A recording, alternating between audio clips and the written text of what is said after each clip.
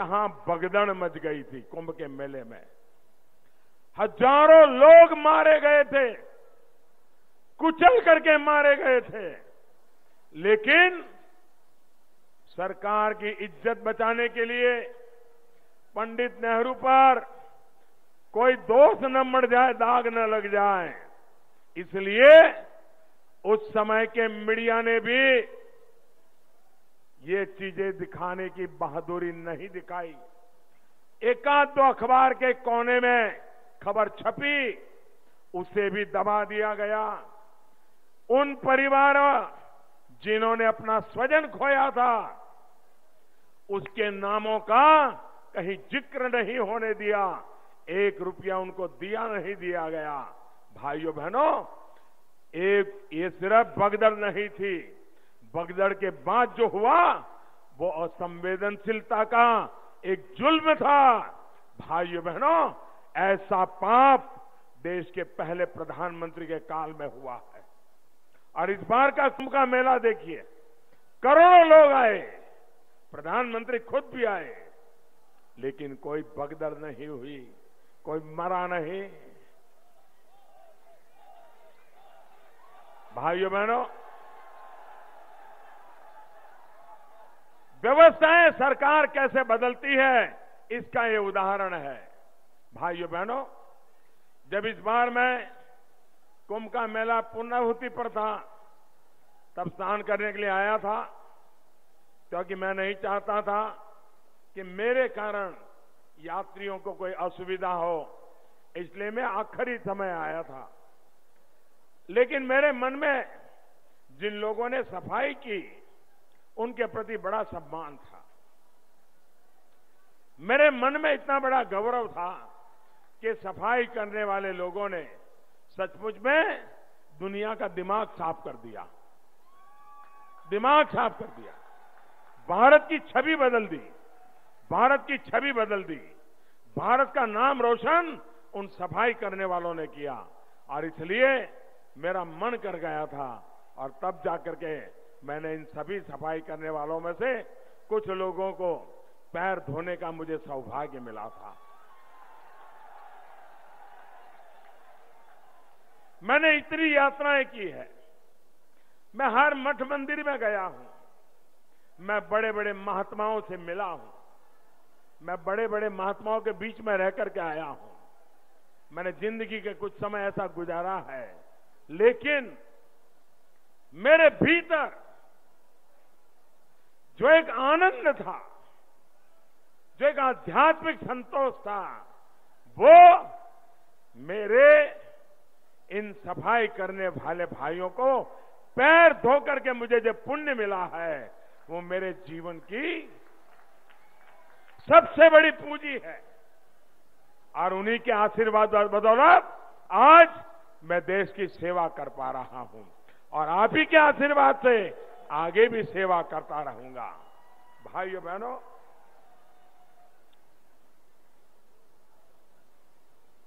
कुंभ का मेला एक आर्थिक गतिविधि का लेके आता है। नए नए काम होते हैं। और इस बार कुंभ का मेला जन भागीदारी का मेला था। जिस प्रकार से प्रयागराज के लोगों ने रास्ता चौड़ा करने के लिए अपने मकान आगे का हिस्सा गिरा दिया दो फुट, ढाई फुट, तीन फुट सरकार को ज़मीन दे दी, बिना पैसे लिए दे दी, मैं ऐसे सबको सलाम करता हूँ, मैं उनका अभिनंदन करता हूँ। भाइयों बहनों, ये धरती भगवान बुद्ध से जुड़ी हुई है और बुद्धिस्ट टूरिज़्म हमारे लिए एक बहुत बड़ा अवसर है। जितना ज़्यादा इस क्षेत्र को, भगवान बुद्ध के इस टूरिज़्म के क्षेत्र को हम जोड़ सकेंगे, हम यहाँ के आर्थिक व्यवस्था को एक बहुत बड़ी नई ऊंचाई पर ले जाएँगे। और इसलिए हमने स्वदेश दर्शन योजना के तहत इसके विकास के लिए हेरिटेज टूरिज़्म के विकास के लिए अनेक कदम उठाए हैं और उन कदमों का लाभ इस क्षेत्र के सामान्य लोगों को मिलने वाला है। उसके लिए जो मूलभूत सुविधाएँ चाहिए, उसके लिए आज भारत सरकार की तरफ़ से उनको हम मदद करने के लिए पूरी कोशिश कर रहे हैं और ये भी हमारा काम आगे चलता रहेगा। भाइयों बहनों, जो काम 55 साल में नहीं हुआ, वो काम 55 महीने में इस चौकीदार ने करके दिखाया है। कितने ही साल हो गए, हमारे देश में अठारह हज़ार गाँवों में बिजली नहीं थी। जिस गति से ये बिजली देने का काम करते हैं, अगर वही गति होती तो और 30 साल लग जाते इन अठारह हज़ार गाँवों में बिजली पहुँचाने में। वो काम मोदी ने एक हज़ार दिन में कर दिया और उनको अंधेरे से मुक्ति दिलाने का काम हमारी सरकार ने कर दिया। भाइयों बहनों ये महामिलावटी लोग जातिवाद को बल देने वाले, वंशवाद को बल देने वाले लोग हैं। ये वही लोग हैं, या तो इनके लोग कोई जेल में है, या तो वो बेल पे है, या तो या तो कटघरे में है। भाइयों बहनों, मुझे बताइए, क्या ऐसे लोगों के भरोसे उत्तर प्रदेश का भला होगा? ऐसे लोगों के भरोसे देश का भला होगा? क्या देश? आप मुझे बताइए। पाँच साल हो गए। क्या आपने जिसको प्रधान सेवक बनाया? ऐसा कोई काम इस प्रधान सेवक ने किया है जिसके कारण उत्तर प्रदेश को नीचा देखना पड़े? ऐसा कोई काम किया है? मैंने ऐसा कोई काम किया है जिससे कोई एक जाति का भला हो दूसरे का न हो, ऐसा किया है, आपने देखा होगा। ये जो प्रधानमंत्री आवास योजना होती है ना, पहले क्या होता था? प्रधान किस जाति का है, सरकार किस जाति की है, सपा वालों की है कि बसपा वालों की? सपा वालों की है तो बसपा के जो मतदाता है, उनको पाँच साल नरक में जीना पड़ता था। बसपा वालों की सरकार हो तो सपा वालों को नरक में जीना पड़ता था। बिजली काट देते थे, पानी काट देते थे, ऐसा करते थे भाई। हमने आकर के कहा, जी नहीं, उत्तर प्रदेश का हर नागरिक, ये मेरा परिवार का है। वो किसी जाति में पैदा हो, बिरादरी में पैदा हो, इससे मेरा लेना देना नहीं। और मैंने सरकार को कहा कि आप कहीं घर बनाने हैं तो एक कोने से तय करो भाई।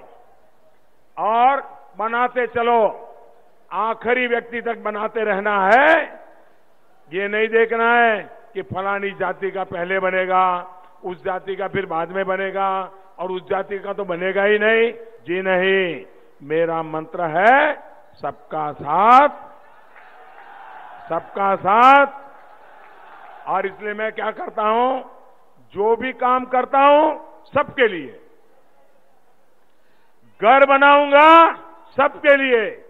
किसी का 2016 में बन गया, किसी का 17 में बन गया, किसी का 18 में बना, किसी का 19 में बना, किसी का 20 में बनेगा, लेकिन 2022 तक सबके बन जाएँगे।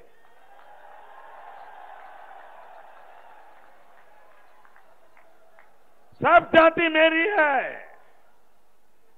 जैसे नमक के बिना कोई खाना नहीं बनता, वैसे मेरे लिए नमक की तरह हर जगह पे फैल जाना, हर एक का भला करना, यही मेरा काम है भाई। भाइयों बहनों, कई लोग 55 साल इस देश में 55 साल में 55 प्रतिशत लोग अंधेरे में रहे। घर में बिजली नहीं थी। आज मोदी ने बिड़ा उठाया और 55 महीने में 90 प्रतिशत से ज़्यादा घरों में बिजली पहुँचा दी। और जो 10 परसेंट बचे हैं ना, उसको भी पहुँचा करके ही दम लेने वाला। मेरा कहने का मतलब यह है कि देश का भला ये जाति के आधार पर रेवड़ियाँ बांटने से नहीं होगा, सबका भला करने से ही देश का भला होने वाला है। और इसलिए भाइयों बहनों, हम उसी बात को लेके चले हैं। आप मुझे बताइए भाइयों बहनों, ये जितने चेहरे दिखते हैं, उसमें से कोई चेहरा है? आज क्या स्थिति है? जो आठ सीटें लड़ते हैं, वो भी प्रधानमंत्री बनना चाहते हैं। जो 20 सीटें लड़ रहे हैं, वो भी प्रधानमंत्री बनना चाहते हैं। जो 40 सीटें लड़ रहे हैं, वो भी प्रधानमंत्री बनना चाहते हैं। इनको मालूम है क्या? अरे, विपक्ष का नेता बनने के लिए भी 50 से ज़्यादा सीटों की ज़रूरत होती है। अब ये प्रधानमंत्री बनने के लिए कमर कस के खड़े हो गए जी। मुझे बताइए, जितने प्रधानमंत्री बनने के लिए चेहरे दिख रहे हैं, आप उन पे भरोसा कर सकते हैं क्या? उन पे भरोसा कर सकते हैं क्या? जो सपा वाले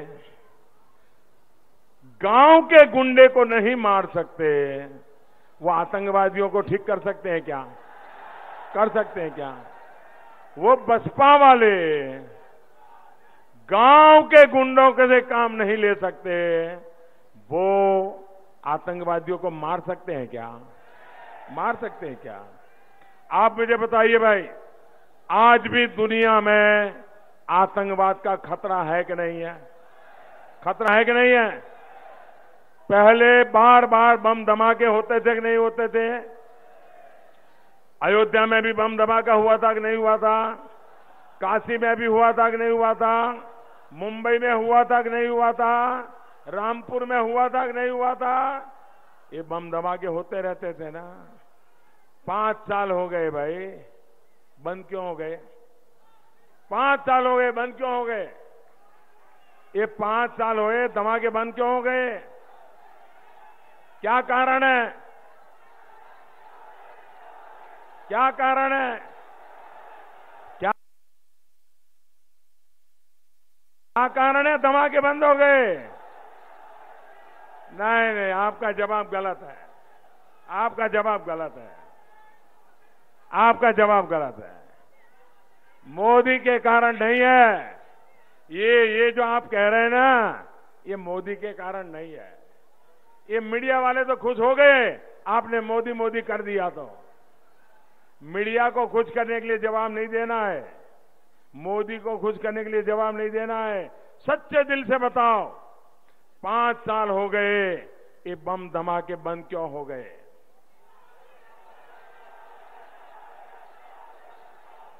मैं सच्चा जवाब बताऊँ? मैं सच्चा जवाब बताऊँ? आपका जवाब गलत है, मैं सच्चा जवाब बताऊँ? आप कहते हैं पाँच साल ये सब बंद हो गया, मोदी मोदी मोदी। मैं कहता हूँ, ये पाँच साल से धमाके बंद हो गए, उसका कारण आपका एक वोट है। ये आपके वोट की ताकत है, जिसने इस चौकीदार को मज़बूत बनाया और चौकीदार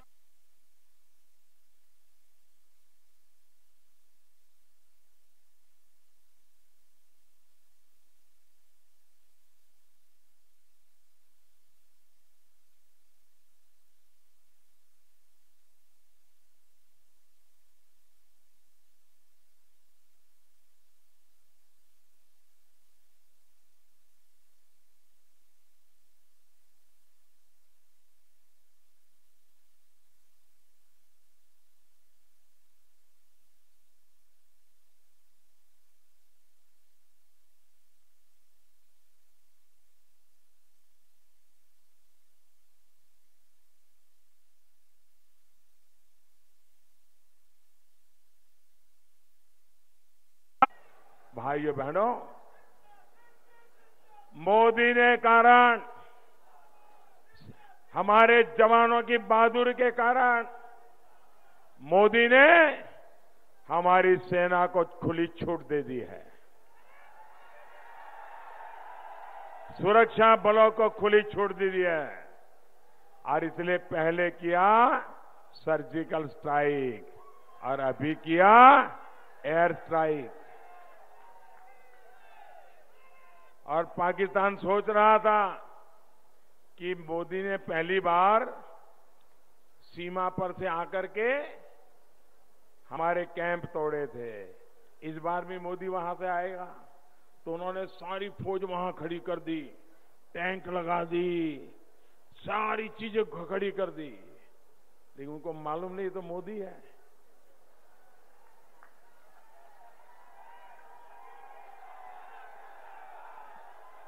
हमारी सेना ने क्या किया? ऊपर से गए।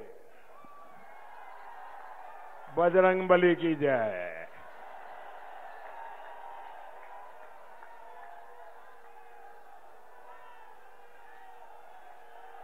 गोली का जवाब गोले से दे दिया। भाइयों बहनों आज हिंदुस्तान, नया है हिंदुस्तान बदल गया है। घर में घुस करके मारता है। घर में घुस करके मारना चाहिए, नहीं मारना चाहिए। घर में घुस करके मारना चाहिए, नहीं मारना चाहिए। जहाँ आतंकवाद की खेती होती है, वही खेत उजाड़ना चाहिए कि नहीं उजाड़ना चाहिए। जहाँ पर आतंकवादियों को दाना पानी मिलता है, वही लाइन बंद करनी चाहिए कि नहीं करनी चाहिए। मेरा रास्ता सही है? आप मुझसे खुश हैं?